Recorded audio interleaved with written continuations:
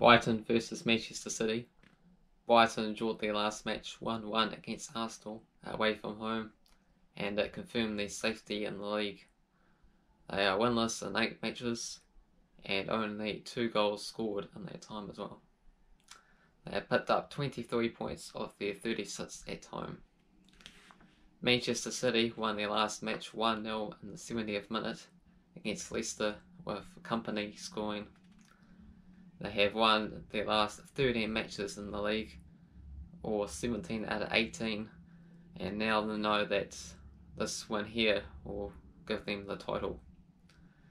My tip is Manchester City to come from behind to win at $7.70. History often repeats itself. Last time Manchester City won the title on the final day, it came from some last minute drama against QPR. And my score prediction is 2 1 to Manchester City.